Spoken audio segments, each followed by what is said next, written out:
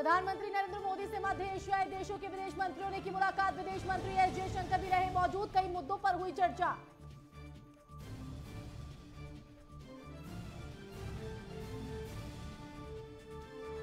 कल प्रयागराज के दौरे पर जाएँगे पीएम मोदी, कई योजनाओं की देंगे सौगात, परेड ग्राउंड में जनसभा को करेंगे संबोधित।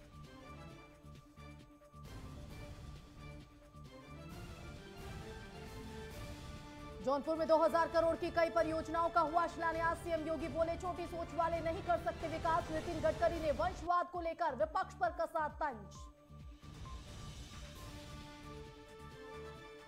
यूपी के अलग अलग जिलों में बीजेपी निकाल रही जन विश्वास यात्रा। डिप्टी सीएम दिनेश शर्मा, अलीगढ़ तो वही केंद्रीय मंत्री संजीव बालियान और भूपेंद्र चौधरी मुजफ्फरनगर में रहे मौजूद। तेज़ी से बढ़ रही ओमिक्रोन की रफ्तार। महाराष्ट्र में छह नए मामले, देश में ओमिक्रोन के आंकड़े एक के पार।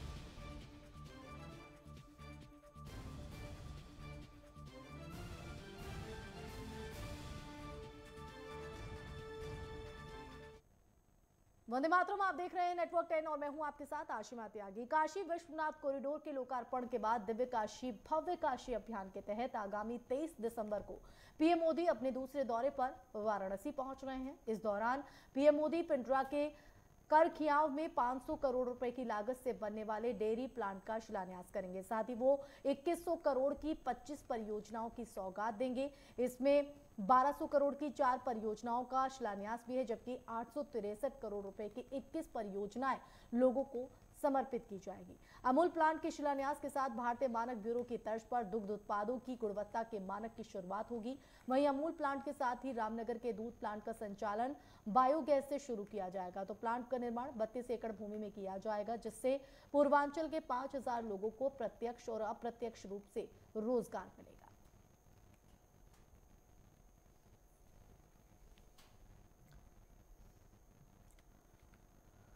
तो वही 27 दिसंबर को हिमाचल में जयराम ठाकुर सरकार के चार साल पूरे होने जा रहे हैं और इस अवसर पर पीएम मोदी मंडी में आयोजित कार्यक्रम में बतौर मुख्य अतिथि शामिल होंगे। इसी पर पेश है ये रिपोर्ट। हिमाचल प्रदेश में मुख्यमंत्री जयराम ठाकुर की सरकार अपने चार साल पूरे करने जा रही है। इस खास अवसर पर प्रधानमंत्री नरेंद्र मोदी दूसरे ग्राउंड ब्रेकिंग समारोह में मुख्य अतिथि के बतौर शामिल होने के लिए मंडी पहुँच रही हैं। इससे पहले ग्राउंड ब्रेकिंग समारोह शिमला के पीटर हाफ़ में हुआ था। मंडी के आयोजन की तैयारी ज़ोर शोर से की जा रही है। मंडी के पड्डल मैदान में प्रदर्शनियाँ भी लगाई जा रही हैं। राज्य सरकार दूसरे ब्रेकिंग समारोह में कुछ बड़े निवेशकों को आमंत्रित भी कर रही है। राज्य सरकार के मुताबिक इनमें 600 से ज़्यादा हज़ार करोड़ रुपए के निवेश स्थापित करने वाले निवेशकों को निमंत्रण दिया जाना है। दूसरे ग्राउंड ब्रेकिंग समारोह में पंद्रह हज़ार करोड़ के निवेश का लक्ष्य रखा गया है। 2017 में हिमाचल प्रदेश में बीजेपी की सरकार बनी थी। बीजेपी ने राज्य की अड़सठ सीटों में से 44 सीट जीतकर शानदार सफलता हासिल की थी। बीजेपी ने यहाँ मंडी क्षेत्र के नेता जयराम ठाकुर को मुख्यमंत्री बनाया। हिमाचल की सियासत में मंडी क्षेत्र के वह पहले नेता हैं जो मुख्यमंत्री बने। इससे पहले शिमला, कांगड़ा सिरमौल इलाके के नेता मुख्यमंत्री बने हैं। जयराम ठाकुर मुख्यमंत्री बनने वाले राज्य के छठे नेता हैं और हिमाचल प्रदेश के चौदहवें मुख्यमंत्री हैं। हिमाचल में कांग्रेस नेता यशवंत परमार 8 मार्च उन्नीस सौ बावन को राज्य के पहले मुख्यमंत्री बने थे। 1956 से उन्नीस तक राज्य में राष्ट्रपति शासन रहा।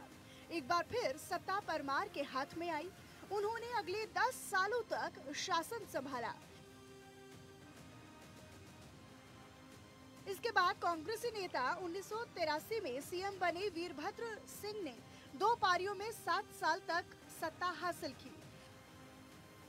सीएम के गृह ज़िले मंडी के संसदीय उपचुनाव में बीजेपी प्रत्याशी खुशहाल ठाकुर को कांग्रेस की प्रतिभा सिंह ने हरा दिया। जबकि 2019 के लोकसभा चुनाव में बीजेपी प्रत्याशी राम स्वरूप शर्मा ने चार लाख से भी अधिक मतों से यहाँ जीत हासिल कर अपना रिकॉर्ड बनाया था। लेकिन दो साल में ही बीजेपी ने ये सीट गवा ली। बीजेपी को ये झटका तब लगा है जब मंडी लोकसभा क्षेत्र में आते 17 विधानसभा क्षेत्रों में से 14 में बीजेपी के विधायक हैं, जबकि कांग्रेस के महज तीन ही विधायक हैं। जब महज एक साल में राज्य के चुनाव होने हैं तब बीजेपी राज्य में अपने आधार को बनाए रखने के लिए खासा ध्यान देना चाहती है। अब ऐसे में बीजेपी भी जनता को अपने प्रभाव में लेने की कोशिश में है। पार्टी संगठन और कार्यकर्ताओं का मनोबल बढ़ाने के लिए बीजेपी पूरे तामझाम के साथ आयोजन में जुटी है।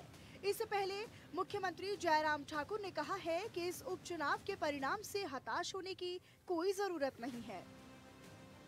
बहरहाल, बीजेपी हर हाल में मिशन रिपीट को पूरा करेगी।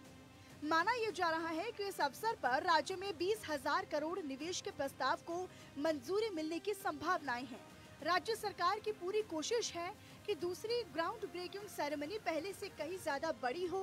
इसके लिए हर स्तर पर प्रयास किया जा रहा है। ब्यूरो रिपोर्ट नेटवर्क टेन तो वहीं मुख्यमंत्री योगी आदित्यनाथ ने गोरखपुर दौरे के दूसरे दिन दैनिक दिनचर्या दिनचर्या के बाद जनता की फरियाद सुनी। वहीं मुख्यमंत्री योगी आदित्यनाथ ने गोरखनाथ मंदिर प्रांगण में लगे जनता दरबार में लोगों से वार्ता की, उनके प्रयास होने के साथ ही समस्या के समाधान का भरोसा भी दिलाया। वहीं सीएम योगी ने 125 से 130 लोगों से उनके कार्य के विषय में वार्ता की। इसके बाद उन सभी के प्रार्थना पत्र को अधिकारियों को सौंपकर क्रियान्वयन का निर्देश भी दिया।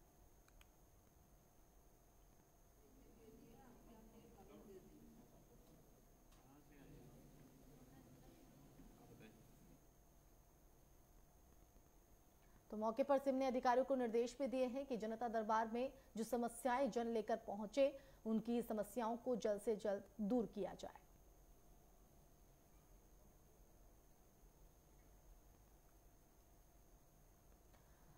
और इस बीच आपको सीधे लखनऊ ले चलते हैं और ड्रोन शो यहाँ पर लाइट एंड शो और जो कहीं ना कहीं इस समा को खूबसूरत करता हुआ तो ये भारत का अब तक का सबसे बड़ा ड्रोन शो, तस्वीरें आपके टीवी स्क्रीन पर सीधे इस ड्रोन शो की हम दिखा रहे हैं। तो लखनऊ से लाइव तस्वीरें हैं तो बेहद ही खूबसूरत नज़ारा एक साथ आप देख सकते हैं। और लाइट एंड शो के ज़रिए इस पूरी तस्वीर को दिखाया जाएगा। तो ये सीधी तस्वीरें आपको लखनऊ से, ड्रोन शो की एक भव्य आयोजन। तो यूपी के लखनऊ में ये सबसे बड़ा अब तक का ड्रोन शो।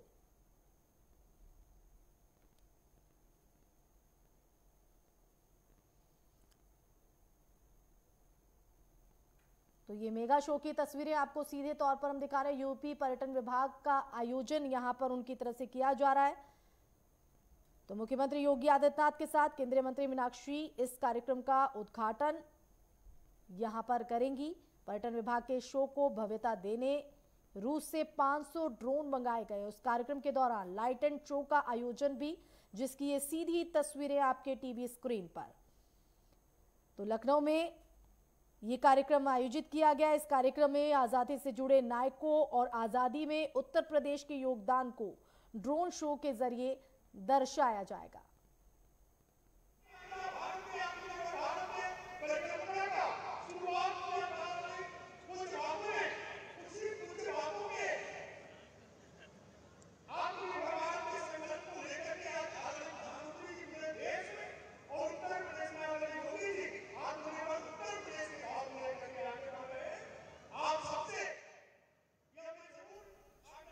भारत की आज़ादी के 75 वर्ष के अमृत महोत्सव के अवसर पर देश के अब तक के सबसे बड़े ड्रोन शो की ये सीधी तस्वीरें लखनऊ से हम आपको दिखा रहे हैं।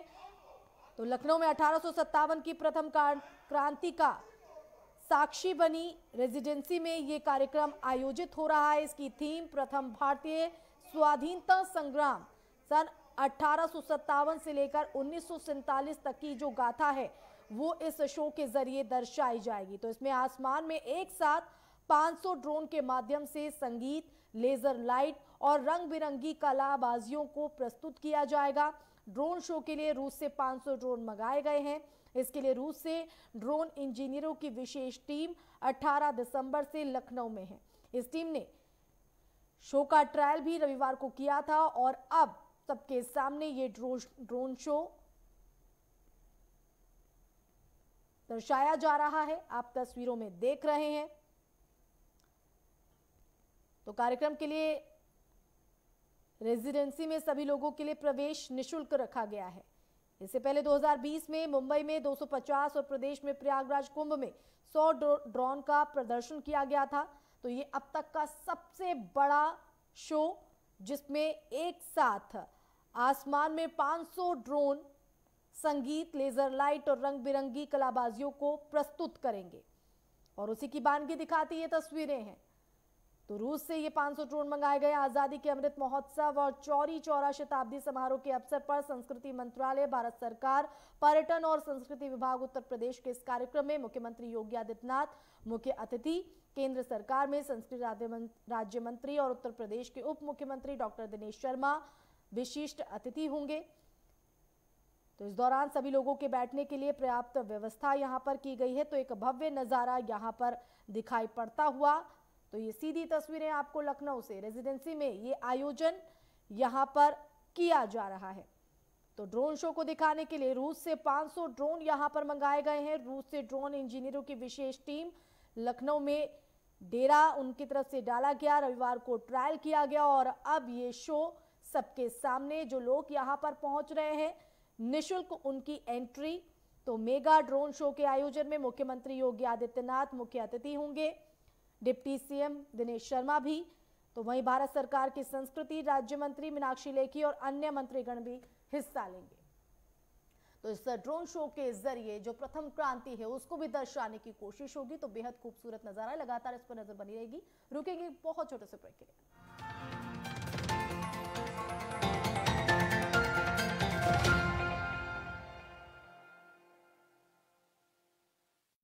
50 से 80 प्रतिशत लोगों को vitamin D, B twelve, calcium, iron, omega, vitamin C, zinc और प्रोटीन की डेफिशिएंसी से अर्थराइटिस खून की कमी लो इम्यूनिटी कमज़ोरी कैंसर ऑटोमिन डिज़ीज़ ब्रेन और नर्वस सिस्टम के खतरनाक डिसऑर्डर हो रहे इन्हीं पोषक तत्वों की कमी को पूरा करने के लिए पतंजलि न्यूट्रिला ने तैयार किए हैं plant based natural organic nutraceutical Nutrila के प्राकृतिक पोषण से मिलेगी आपको रोगों से लड़ने की शक्ति व स्वास्थ्य। डॉक्टर बनकर मरीजों की सेवा करने का सपना देखने वाले विद्यार्थियों में तमाम विद्यार्थी आर्थिक रूप से कमज़ोर और मध्यम वर्गीय परिवारों से आते हैं। चिकित्सा शिक्षा की महँगी फ़ीस उनमें से कई विद्यार्थियों की राह में रुकावट लाती है और उनके सपने अधूरे ही रह जाते हैं। लेकिन अब ऐसे छात्र छात्राओं के सपनों को साकार करने के लिए उत्तराखंड सरकार ने पढ़ाई की फ़ीस घटाकर छात्र छात्राओं को दी है एक अनोखी सौगात। यही नहीं प्रदेश सरकार इसी शैक्षणिक सत्र, यानी 2021-2022 से एमबीबीएस कोर्स की कम की गई फ़ीस की व्यवस्था लागू करने जा रही है। मुख्यमंत्री पुष्कर सिंह धामी की अगुवाई में हाल ही में प्रदेश सरकार ने राजकीय मेडिकल कॉलेजों में नॉन बॉन्डेड एमबीबीएस कोर्स की फ़ीस चार लाख रुपए प्रति वर्ष से घटाकर एक लाख पैंतालीस हज़ार रूपए प्रति वर्ष निर्धारित की है। प्रदेश सरकार द्वारा जारी शासन आदेश के अनुसार घटाई गई फ़ीस को मौजूदा शैक्षणिक सत्र से लागू किया जाएगा। इस कल्याणकारी कदम से प्रदेश के राजकीय मेडिकल कॉलेजों में इस सत्र में एडमिशन लेने वाले विद्यार्थियों के अलावा पहले से अध्ययनरत छात्र छात्राओं को भी बड़ी राहत मिली है।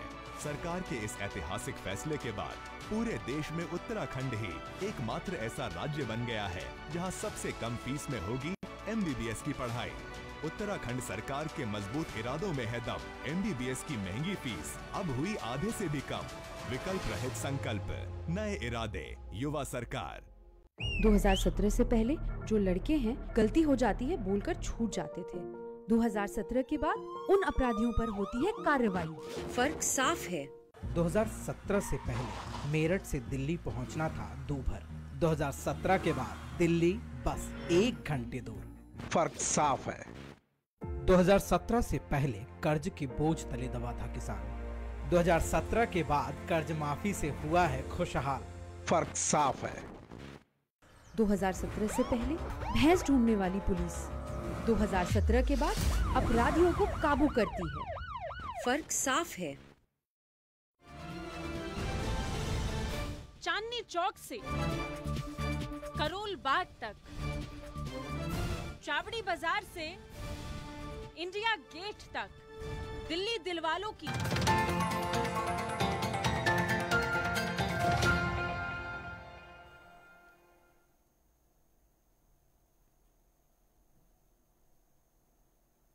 और ब्रेक के बाद आपका एक बार फिर स्वागत है। खबरों में आगे बढ़ेंगे। पंजाब हरियाणा हाईकोर्ट ने संजीव शर्मा बिट्टू को ही पटियाला का मेयर बने रहने के निर्देश दिए हैं। इस मामले में पंजाब सरकार ने पटियाला नगर निगम को पत्र लिखा है कि 25 नवंबर को संजीव शर्मा के खिलाफ जो नो कॉन्फिडेंस मोशन लाया गया था, वो नियमों के तहत नहीं था। और ऐसे में जब दोबारा नो कॉन्फिडेंशियल कॉन्फिडेंस मोशन लाया जाएगा तो नियमों का पालन करना होगा।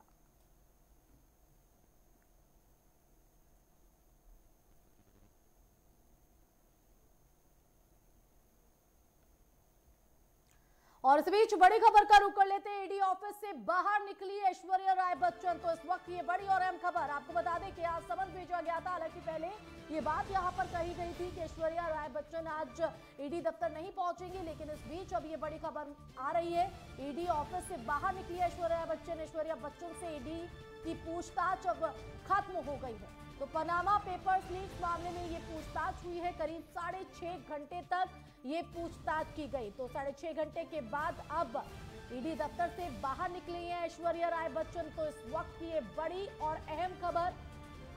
तो बता दें कि पनामा पेपर्स लीक का ये पूरा मामला है, जिसमें पूछताछ के लिए इससे पहले दो बार समन दिया जा चुका था, लेकिन किसी हवाला देते हुए ऐश्वर्या राय बच्चन ईडी के सामने पेश नहीं हो पाई थी, लेकिन इस ईडी के समक्ष वो पेश हुई, साढ़े छह घंटे पूछताछ हुई है और अब इस पूछताछ के बाद ईडी ऑफ़िस से बाहर निकली है।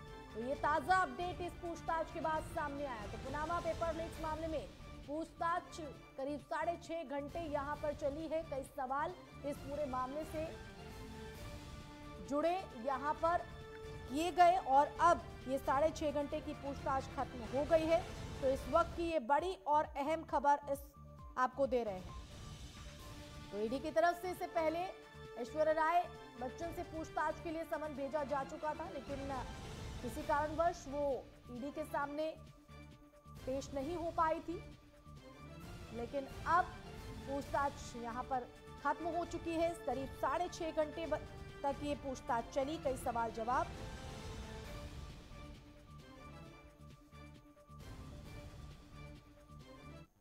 और इस बीच कैथल से जहाँ पर खबर प्रशासन ने सराहनीय पहल की है, जिसमें कोरोना से बचाव की वैक्सीन लगवाने के लिए डीसी प्रदीप दैया और एसपी लोकेंद्र सिंह ने खुद वैक्सीनेशन प्रमाण पत्र दिखाकर सचिवालय में प्रवेश किया। साथ ही सचिवालय में आने वाले कर्मचारियों और लोगों की वैक्सीनेशन रिपोर्ट ऑनलाइन देखने के लिए कर्मचारियों की एक टीम भी तैनात कर दी गई। ये टीम लोगों की मदद कर रही है तो साथ ही डीसी ने बस स्टैंड और अस्पताल में लगे कैंपों का निरीक्षण भी किया। देखिए, प्रशासन ने पिछले तीन चार दिन से तैयारियाँ करी हुई हैं पूरी की पूरी। हमारी लगभग 270 टीमें फ़ील्ड में हैं, जो कि हमारी एक्टिविटी टीम्स हैं। हम ये चाह रहे हैं कि पूरे ज़िले को हम कवर करें इस महीने के अंत तक। तो वहीं अम्बाला के मिशन अस्पताल में 20 बेड के आधुनिक आईसीयू वार्ड का उद्घाटन किया गया, जिसका शुभारंभ हरियाणा के स्वास्थ्य मंत्री अनिल विज ने किया। उद्घाटन समारोह में पहुँचे अनिल विज का मिशन अस्पताल के डायरेक्टर सुनील सादिक ने जोरदार स्वागत किया। तो इस मौके पर अनिल विज ने अस्पताल में बनाई गई चैपल का भी धार्मिक बैल बजाकर शुभारंभ किया। कार्यक्रम में मौजूद लोगों को संबोधित करते हुए डॉक्टर सुनील सादिक ने अनिल विज की जमकर तारीफ़ की। तो इस दौरान अनिल विज ने अस्पताल को बीस लाख रुपए देने की घोषणा भी की। नक्शे में अंबाला को ले आए। वी आर रियली थैंक और आज हमारे बीच में वही मसीहा हमारे बीच में मौजूद है। अब मैं बहुत ज़्यादा टाइम नहीं लूँगा। ये हॉस्पिटल जो है, ये उन्हीं का है। ये अंबाला की जनता का है। ये मिशन हॉस्पिटल अठारह से सेवा में है। इसी जनता की। इसी के लिए उन्होंने काम किया है। और जब यहाँ पर है तो वो इसी अंबाला की सेवा के लिए हमेशा लगा रहेगा। आज भी कैथ लैब का यहाँ पर उद्घाटन किया गया।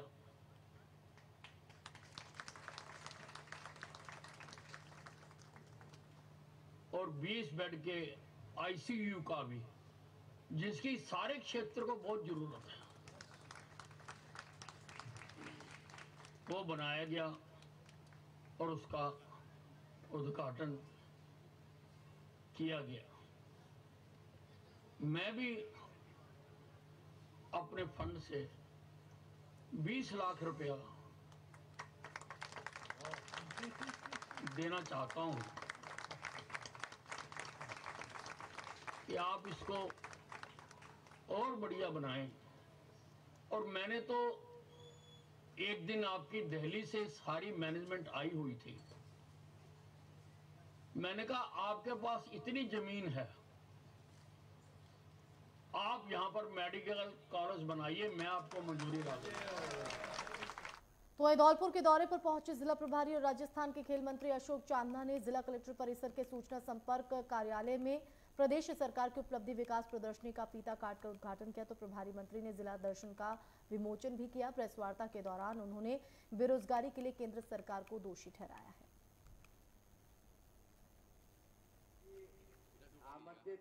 निश्चित रूप से बेरोजगारी केवल राजस्थान की नहीं, पूरे देश की एक बहुत बड़ी समस्या है आज की तारीख। और जिन प्रदेशों की जनसंख्या और जो प्रदेश बड़े हैं, वो आंकड़े में, नंबर में बड़े आते हैं। जिन प्रदेशों की जनसंख्या ही नहीं है तो वहाँ बेरोजगारी दर कितनी भी हो, आंकड़ा बड़ा नहीं आएगा। राजस्थान बड़े प्रदेशों में से है, उस कारण निश्चित रूप से यहाँ पर बेरोजगारी बहुत ज़्यादा है। और अब बात बिग बॉस की, बिग बॉस 15 के पूरे सीज़न में प्रतीक और निशांत की दोस्ती के कसीदे पढ़े गए और इन दोनों की दोस्ती के बीच करण और शमिता तक नहीं आ पाए। लेकिन अब लग रहा है कि जो करण और शमिता नहीं कर पाए, वो देवोलीना ने कर दिया। और देवोलीना के लिए इन दोनों में इतनी ज़बरदस्त लड़ाई हो रही है कि कोई माइक उतार कर फेंक रहा है तो कोई प्रॉपर्टी को नुकसान पहुँचा रहा है।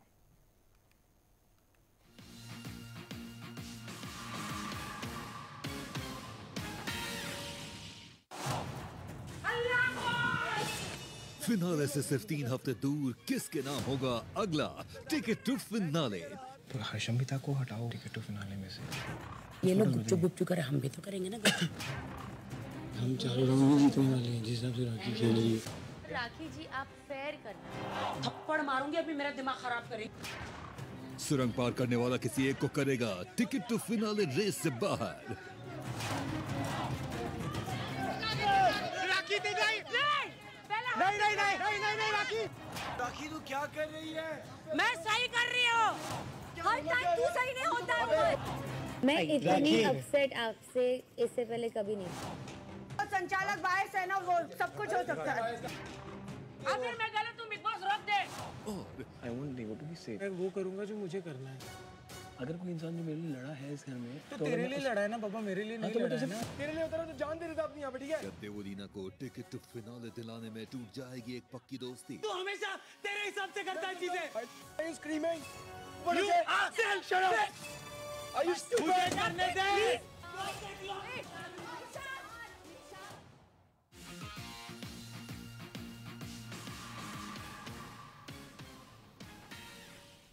अभिजीत को देवोलीना पसंद है लेकिन देवोलीना है कि प्रतीक के आगे उन्हें कुछ ही दिखाई नहीं दे रहा है और अब ये बात अभिजीत को बुरी लग रही है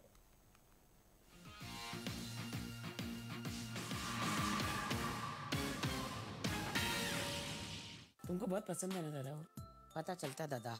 आपके हर शब्द में वो है। लेकिन ये वो प्रतीक के अंदर घुस रही है। उसको पूरे पूरे घर में कोई ना मिले चलेगा। प्रतीक चाहिए।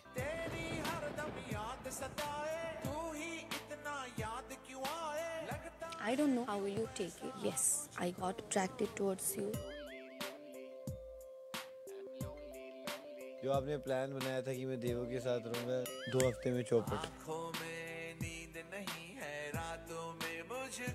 जो आप सोच रहे हो ना, वो होगा ही नहीं। छोड़ गया है दो हफ़्ते में अकेले पड़ गए हो आप।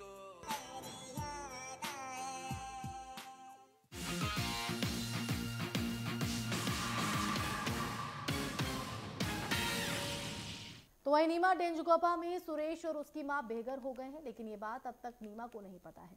अब देखना ये होगा कि आखिर कब तक सुरेश अपने बेघर होने की सच्चाई को छुपा पाएगा।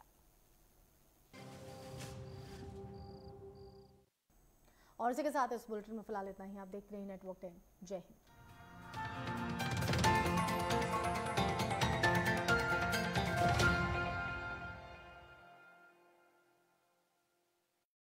क्या आप दुबले पतले कमज़ोर हैं? आपकी सेहत नहीं बनती। भूख कम लगती है, वज़न नहीं बढ़ता।